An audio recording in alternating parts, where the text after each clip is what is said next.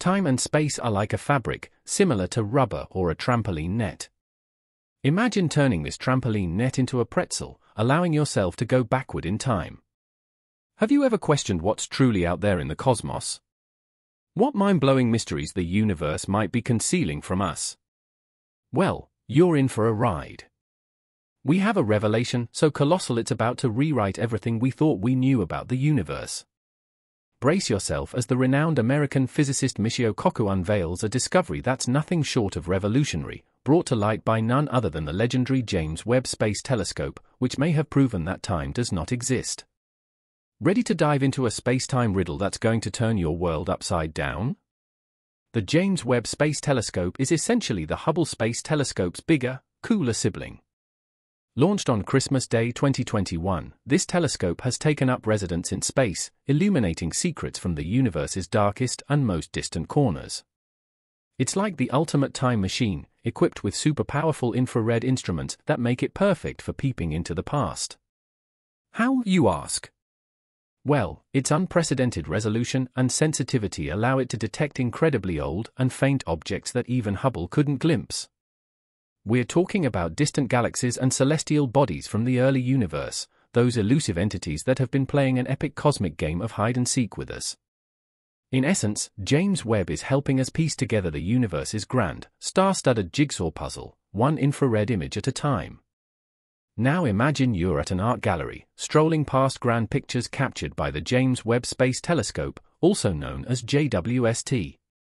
The imagery is breathtaking, with distant galaxies shimmering across the cosmic canvas.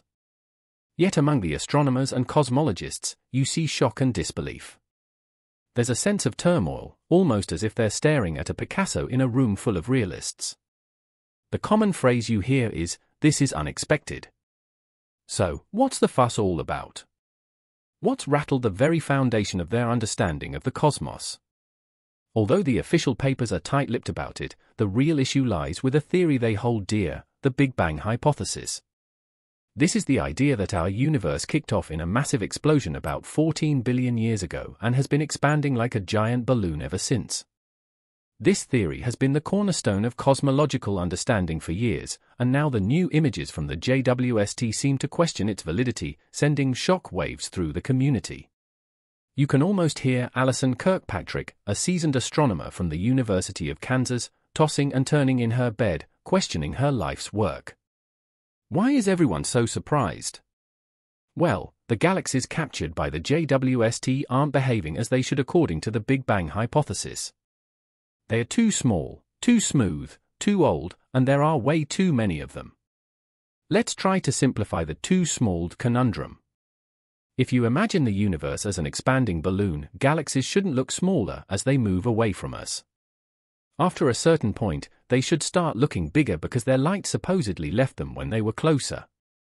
It's a weird but essential twist in the expanding universe concept. Yet, the images from the JWST show galaxies that are about the same size as the ones near us. It's like you're expecting your distant friends to appear as tiny dots on the horizon, but instead, they're right next to you, just as large as life. Interestingly, these images show galaxies appearing smaller than we'd expect, even those that shine brighter and pack more mass than our own Milky Way. These pictures show galaxies that seem to be two to three times smaller than the one seen through the Hubble Space Telescope, HST, despite their greater luminosity and mass. Additionally, these galaxies also have significantly higher redshifts, which, in layman's terms, means they're supposedly moving away from us at faster speeds. You might think, well, that's odd, and you'd be right, especially if you're operating under the assumption that we live in an ever-expanding universe. A while back, in 2014, some scientists had already pointed out this inconsistency. They analyzed HST images and found that galaxies with redshifts up to 5 seem to match what you'd expect in a non-expanding, typical space. It was anticipated that the JWST would continue this trend, and it has, even for galaxies with redshifts as high as 12. In simpler words, the JWST images show galaxies that appear the same size as those close to us, as if the universe isn't expanding and redshift is merely a function of distance. But if we still cling to the Big Bang theory and its expanding universe concept, we're left with a pretty perplexing conclusion these distant galaxies must be unimaginably small to counterbalance the supposed optical illusion created by an expanding universe. It's a bit like imagining a grain of sand with the brightness of a spotlight. Take, for instance, a galaxy named GHZ2 that the JWST spotted. It's far brighter than the Milky Way but is calculated to be only 300 light-years in radius. Compare that to the Milky Way's 50,000 light-year radius. Its brightness per unit area would be 600 times that of the brightest galaxy in our local universe. Not just that, its density, and that of several other new galaxies, would be tens of thousands of times higher than the galaxies we see around us today. Now, when you consider these tiny and smooth galaxies, the notion of an expanding universe, and by extension the Big Bang Theory, starts to crumble. And that's why these findings are causing quite a stir among astronomers and cosmologists. Over the years, the Hubble Space Telescope images have given them a hard time. The pictures suggest the existence of many galaxies, dense and powerful, much like Mighty Mouse from old cartoons. These galaxies are a challenging puzzle for them, and with the new James Webb Space Telescope, things have only gotten trickier. To make sense of these peculiarly tiny galaxies, theorists have put forth an idea. It's as if you're playing with a tiny toy car, a magical one, which, despite being only a centimeter long, weighs as much as an actual SUV. They suggest that these microgalaxies smash into each other over billions of years, merging to form the full-sized galaxies we see today. It's like the toy cars colliding and growing up to be real SUVs. But here's the twist, the JWST has taken a close look at these galaxies and found no signs of such cosmic car crashes. You would expect these colliding galaxies to show some signs of damage, right? Maybe look a bit scrambled or mangled, like a car after a fender bender. But that's not what we see. Instead, the JWST reveals galaxies that are smooth, neat spirals, just like the ones we see nearby. There's an overwhelming lack of galactic fender dents. In fact, one study, aptly titled Panic, highlights that there are 10 times more of these pristine spiral galaxies than the theorists had predicted. This is akin to finding a busy highway with speeding cars but no accidents. It's a pretty significant blow to the collision theory.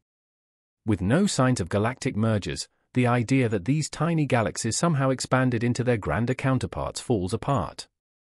If they didn't grow in size, it means they weren't small to begin with. Consequently, the optical illusion we'd expect from an expanding universe doesn't seem to be there. Without this illusion, the concept of expansion loses ground. Hence, the growing unease among Big Bang enthusiasts. The appearance of these small and smooth galaxies suggests that the universe may not be expanding, and if it isn't, the Big Bang theory takes a major hit. And there's another aspect to consider the age of stars. The Big Bang Theory suggests that everything came into existence following the big explosion. However, if these galaxies existed before that, then it would mean the Big Bang didn't happen. This could be a game changer for our understanding of the universe's origins. Consider the James Webb Space Telescope as a time machine. In the words of Michio Kaku, it can peer billions of years back into the cosmos, capturing images that shed light on the universe's origins. This incredible device isn't snapping photos in our familiar visual spectrum, though. Instead, it's focused on the infrared, revealing colors of galaxies so distant we could never observe them with our naked eye. Now, here's the fascinating part these colors aren't just beautiful, they're telling a story about the age of the stars in these galaxies. Young, fiery stars blaze a vivid blue, while their older, cooler counterparts, similar to our Sun, glow in hues of yellow and red. By examining these colors, astronomers can estimate the age of the star populations in these distant galaxies. According to the Big Bang Theory, the galaxies farthest away in the JWST images represent a cosmic snapshot from around 400 to 500 million years after the universe's birth. However, some of these galaxies appear to house stars that are over a billion years old. If you've been following the Big Bang Theory, you know that's a big problem because nothing should be older than the Big Bang itself.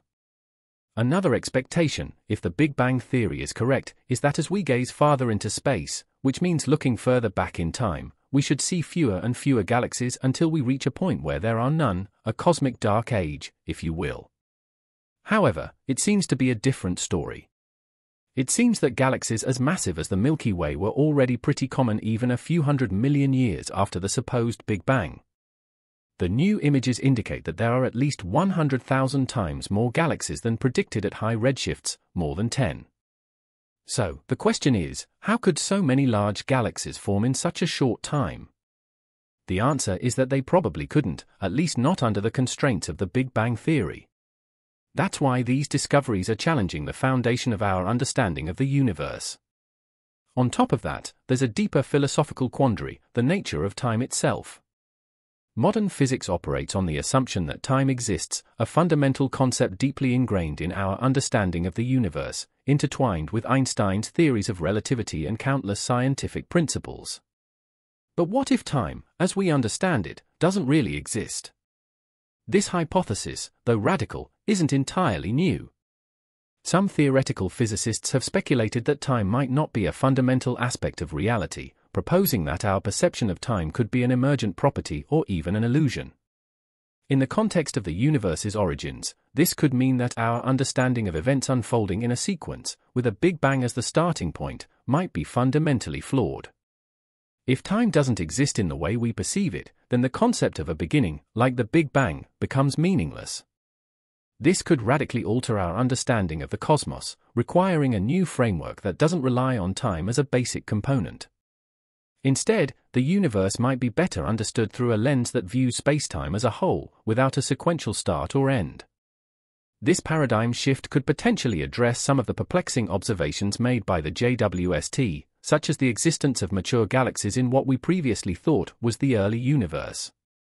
If time is not a fundamental property, then these galaxies could be older than the Big Bang without contradicting the laws of physics. Essentially, without the constraint of time, the universe might not have a singular beginning at all, suggesting a more complex and intertwined cosmic tapestry.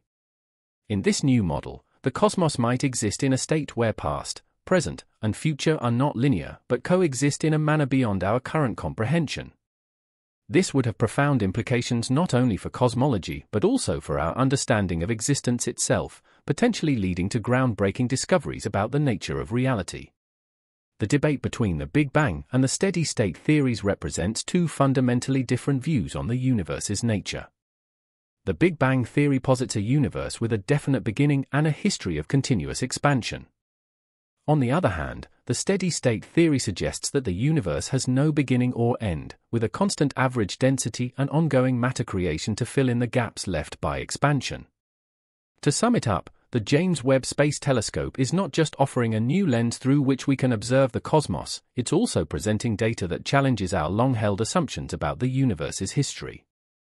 These observations might indicate that the Big Bang Theory, as it currently stands, is not entirely accurate.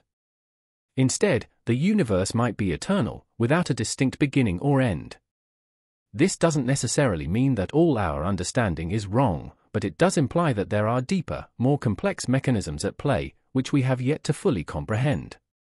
It's an exciting time for astronomy and cosmology as we stand on the brink of potentially groundbreaking discoveries that could reshape our understanding of the universe.